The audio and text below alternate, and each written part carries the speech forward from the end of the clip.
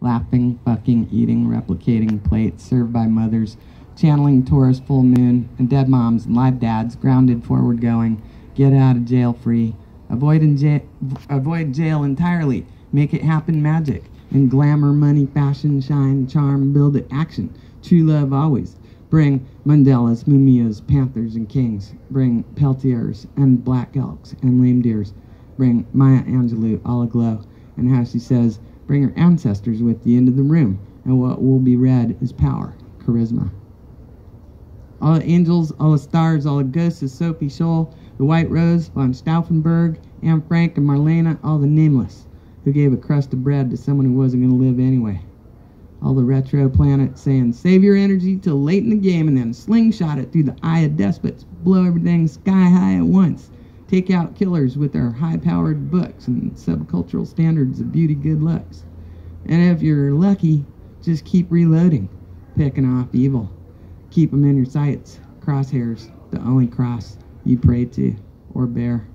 Leave behind a trail of stars to X marks the spot, to treasure to hearts, to explosion of light, to true love coming in your fist, to high as a kite in your arms, to crying over the loss of all humans, all the queers and trans, women and children, beasts and sky and water. Last but not least, all blue sky from the west down to the east. Blue, just how we see it from here. Blow it all up, and it's a dream. Remembered by centuries at castles who look out at black starry skies and tell stories of what we learned there, then on a green and blue rock far away and once upon a time.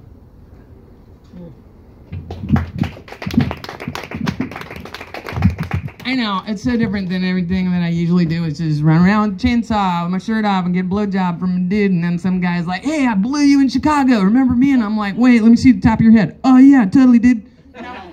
it's different. But, and so my babe's like, oh, this poem needs to go first. That's the first poem that I just read. And I was like, really? Ew. It sounds squishy and vulnerable and spiritual. you know what I mean? But it, I, but if you have a babe that you're in love with, and she, he, or they says, do the thing, then you gotta zip it, think all your thoughts, call your sponsor, whatever you, somebody, a friend, and then go, okay, babe. That's what I did. So that's why that poem is first. Uh, It's a great poem. thank you. Come on gonna be a hype in. Or walk on through. Get yourself a hot beverage. Read a book. Support your local bookstore. Okay. Uh, let's see.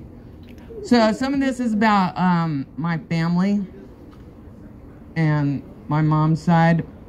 My mom's raised in Nazi Germany. And so a lot of what I got from her is this punk rock situation that you see before you. Typewriter. Now is the time for all good men to come to the aid of their country. My mother would type when testing a new typewriter. Why do you write that? Because it has almost all the letters, she'd say.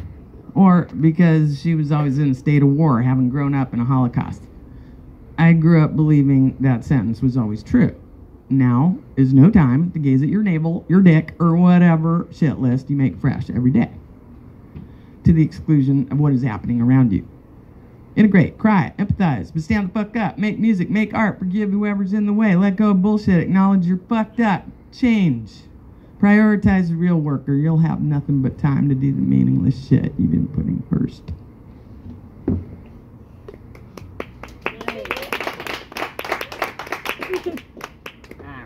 So, you. Let's see. We've got to talk about your mom. I'm going to talk about my mom. Here's a story about my mom. 1939, Chemnitz, Germany. I'm just reading them in order right now. Because, see, the thing about a poetry book is that one is you could just, if you're like me, you're ADD, you start in the back, maybe hit the middle, and then give up. Or you might just open it to any page, and there's a poem that you need to read, like bibliomancy, you know. But anyway, this also works. You can do that, or you can just start in the beginning, and there's like, apparently, there's a narrative arc that between my girlfriend and my publisher, Manic D Press, they figured out it goes in an order. 1939, Chemnitz, Germany. One day, my grandfather, who had a cannery and a new American car every year, whose parents had a deli, who promised his wife's parents to take care of her, who was a businessman, who had a young wife and a daughter, who did not have anything else to give, said, I could sign a government contract for rations for the army, make so much money. It would be a good business deal, but I'd have to join the Nazi party. My grandmother yelled through things, got heated. Over my dead body, you'll get none of this. Make that money for yourself because I'm taking the child and leaving. Don't even think about it. Are you out of your old addled mind? He was way older than her. Uh, which I always think is a good combo because old guys need millennials or somebody to keep them in line sometimes. My mom was pretty sure her parents were about to split up, but they didn't. He did what she said. She set him straight. She never let him sell out. She reminded him of what is right and good and true and what selling out means and who you're selling out to and that the world is so much more than this little family.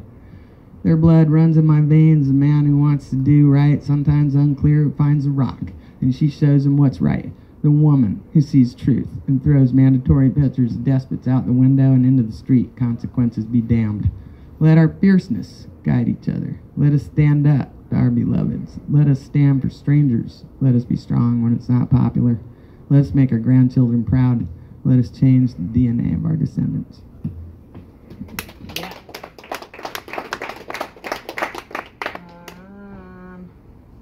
So then I wrote a bunch of stuff about dead musicians.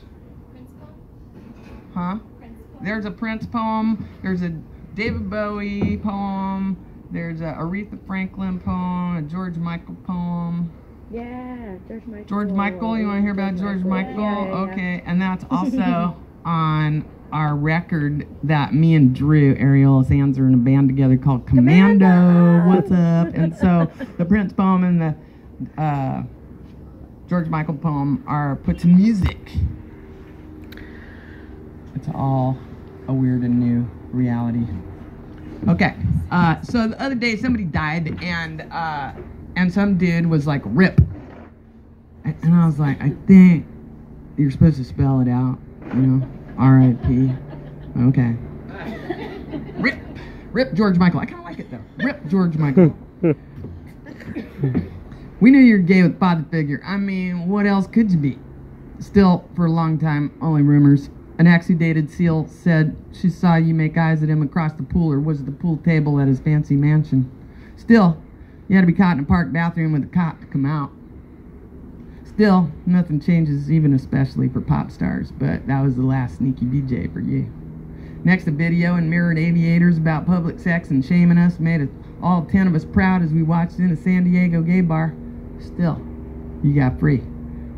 Now I guess your family will euphemize your death from complications from pneumonia or whatever code they're giving it these days.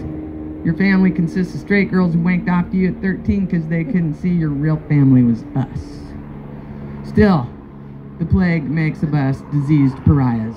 Even the rich, famous, successful, handsome, perfect out ones. Even if we were never sick, we stand for the sick. We stand up to those who want to defend your honor by saying you weren't. And what? We're better than our dead friends because we didn't die of the plague? You would have tossed that bullshit aside. You stood for us, for you. Wear a gold star when you're not Jewish. Say you're positive when you're negative. You'd do it. Although you can't chime in on this thread. I have to believe you woulda. See, I do need another hero. I do have faith. Switch a star on your belly. Turn systems of privilege and flags upside down right now.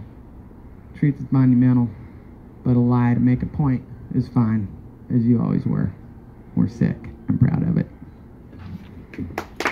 Woo! So, as a conspiracy theorist, as a good little punk rock queer, I'm pretty sure that a lot of motherfuckers that died in 2016 and before, who never came out, um, there was a lot of people that died in 2016, like a fucking whoa, we're out, motherfucker. Um, but I feel like a lot of people's real reasons for dying whether it's AIDS or an eating disorder or whatever, gets covered up by their families because their families are ashamed of their sexuality and they're fucking bullshit that they got from their motherfucking families, and they don't want to fucking Yeah. stand there and fucking face the music. Want to ki- continue to fuck their children up and continue to hide their children's truth. And fuck that. That's all I gotta say about that. Um, so there, soapbox. I'm getting down on my. I'm on my soap. I'm still up here. Okay, soapbox. Once, oh, when I read, when I first um, wrote Godspeed, I had this fabulous editor who cut a whole bunch of political rants out. He's like, "This is a novel, and you can't have political rants in a novel." And I was like, "Ooh, just wait till I write a fucking poetry book, motherfuckers." But I did what he said. He's like, "That's for punk rock songs and stuff." Okay, Prince. It was 82. Me and my girl, we did it one time, said I love you, moved in together. That's how you did. Never considered people might think an interracial couple was something. We were in that love bubble. It was Oakland. Full black people, white people, no big. 83. We moved to another hood in Oaktown, an apartment building. Still stood out as black and white dykes.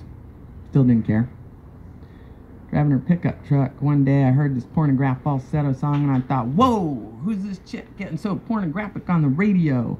Mm. And the DJ said, that was Prince singing Do Me Baby. And I said, oh shit, I need to pay more attention to this gender fucker. Mm. We moved to the white neighborhood, still standing out, still not caring, but I think it started to wear on us a little, especially her. Being the only white dyke in a black hood was different from being the only black dyke in a white neighborhood. 84. My best friend from high school told me he was positive. I got off the phone and broke down. I sat in the living room that year under the Gone with the Wind spoof poster of Thatcher and Reagan with the mushroom cloud in the background, watched Mad Max, Brother from Another Planet, Liquid Sky, The Hunger, Christiane F., and Sid and Nancy, six times each before returning them to the video store. Drank a million buds and slip and slid with our pals and our wife beaters and mirrored cop shades before they became wife pleasers. But most definitely were wife beaters beating the hell out of each other over a freebase pipe. Sat in front of grandma's converted TV console, high lacquer cherry wood cabinet full of records and a turntable. Drank myself silly to Howlin' Wolf and Lightnin' Hopkins and Gil Scott and Suzi Quatro and the B-52s for hours, listening to Prince's controversy, turning the album over in my hands, analyzing, did he really mean it? Did he love us that much? Was he really saying this? Am I black or white? Am I straight or gay? People call me rude. I wish we all were nude. I wish there was no black and white. I wish there were no rules. We're all alone. In a world where Christians wanted us dead, but there was Prince, Coke and whiskey, and starfish and coffee, and Let's Go Crazy, and Jack You Off, and Annie Christian, and Purple Rain, and Cult Crossover Hit. And Under the Cherry Moon, panned by critics, but he could do no wrong and ruffled shirts and romance and femdykes on stage, his spitting image, girl versions of him, and narcissist dream of straight acting queers fucking the mirror like there might be something going on. Just like us and our pals, brown and black and white, fags and dykes passing joints at disco sexy. Even if there was a plague. One big cuddle party. It didn't feel lonesome. It felt right. Like motherfuckers better make room for us, because if they didn't, we were coming through anyway led by the most fearless, least fucks giving motherfucker on the planet. With all the moves and a voice that could go from girl to boy in a second.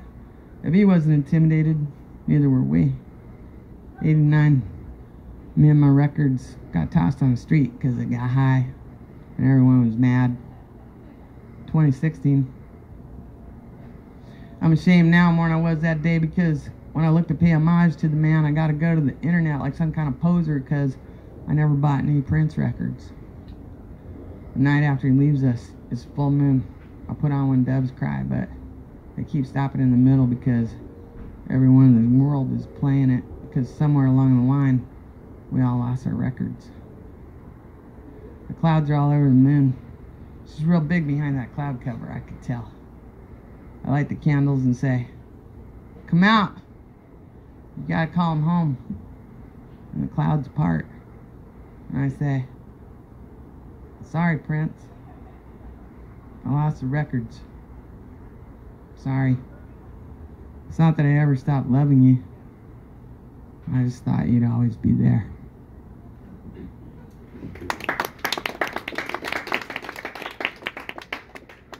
Any other requests? Oh my god. You could read the Bowie. book. We read be the happy. Bowie one, yeah. Read the Bowie one. Okay, so when, okay, so the Bowie thing is brought. Just like I feel like whenever someone dies, all the shit comes out, and especially I don't know. Well, this guy anyway. Suddenly, people were like, "Hey, that guy like molested a teenager, and she was 13. There was a hot tub and all this." And she's like, "No, I'm cool. I'm good. I'm good with David Bowie taking my virginity." And we're like, "You don't fucking know. You're 13. You can give consent." And so, like, it was this whole discussion, um, and, and I think it made a lot of us have to think, like, what is consent? Do we? I had a lot of sex before I was 18. Uh, Was I just like, you know, taken advantage of. I didn't know what was going on. I decided exactly what I was gonna fucking do. Um, I was lucky.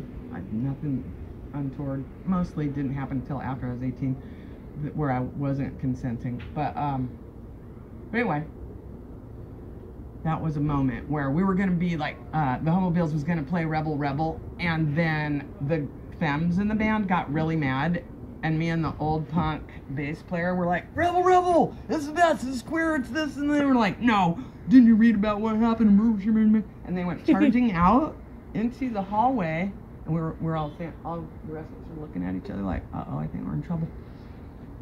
So I wrote this. Bowie's grave. Yes, children. Recite your lessons. Speak out. Tear down heroes. Shame everyone. Spit on graves. Die easy, knowing one day you'll bless smashings of your image. Any homage. Cycle destruction. Rend society. Remote control zombies. Dumbly stumbling. You understand now. Stop the Buddha. Bowie demanded. Escape the proscribed. No gold stars for coloring in lines. Not clean or upright. Love James Brown and Jerry Lee Lewis. Break everything and sleep in what's left. Silence equals death. Looting equals life. Choose your store wisely. Long, loving looks at ugly. Shame is compelling. Iconoclasm is welcome. To be saints, leaders, and heroes eschew halos, halos, crowns, and laurels. Dethroned rock stars saw you through changes, but never wanted sainthood. Willing to break, sang break it all. Remake it in your image, as it will be remade again, as your grave will be spat on when you're gone. Let loogies water daisies where we fall.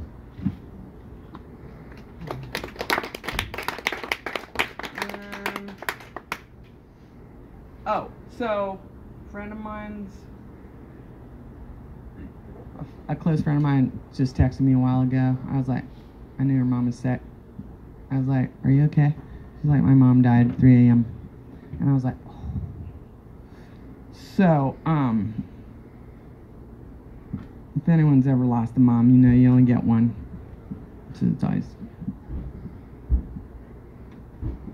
standard. So I wanted to write this.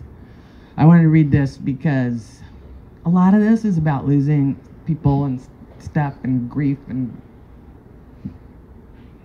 sadness and harshness. But also just remembering people. That's how we keep them alive right here, you know.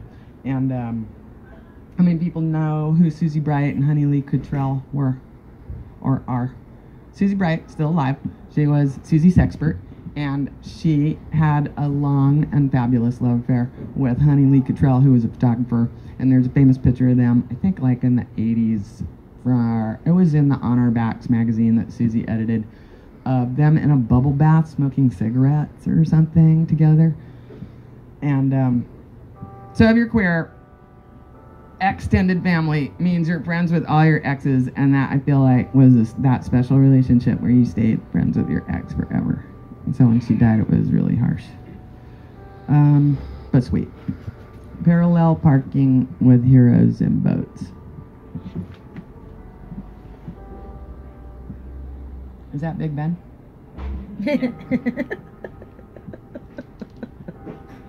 Yeah. We call it the LA Big Ben. Nice. I see. Do you want any water? No, I Want me to have grab tea. you some? Not. Do I need it? Am I doing that thing? No, no, no, no. Okay, good. Ah, hate that. No, I'm good. I'm good in this moment. Okay, I'm just gonna do a couple more and then talk about stuff. Parallel parking with heroes and boats. And then we were wrapped, braided, sleeping like that. and my hands searching found you, that part. And I lay my fingers over you, and the fingers of my other hand curled around your forehead, and that was heaven, and shall remain heaven. For all time, at work or war, or on stage, belting out anthems and playing any of seven harps in key, you fitting perfect all around me in my arms. Beyond Polaroids, it's surround sound with the rain pouring down. It knows when we've come and gone, like a mother singing us to slumber. And while opening curtains and setting out pinafores and breeches, salt pork and porridge, and then we slid this small boat, pushing it through a Lisbon alley to a canal. And there was Susie Bright and Honey Lee Cottrell. If Honey Lee had lived, not smoked Marlboros in the bath in that famous pose, Honey Lee had propped up her 35 millimeter millimeter Nikkormat next to a clawfoot tub of bubbles and caught them laughing like there was no tomorrow. But there was. Tomorrow came, and if this was that tomorrow, none of the romance had gone, not diminished by time or death. In that same position, Honey leaned up against the cool stern of the boat, and Susie up against her, and we, with our eyes full of hope and our mouths full of fresh butt, waited for the boatman to say go, and we pushed off into the Venetian River, past Arabic tile and Egyptian columns, and closed each other's eyes just to feel our fingertips on our faces because we had all the history in the world and never had to go hungry. All we needed was each other and water and vessels to carry us through.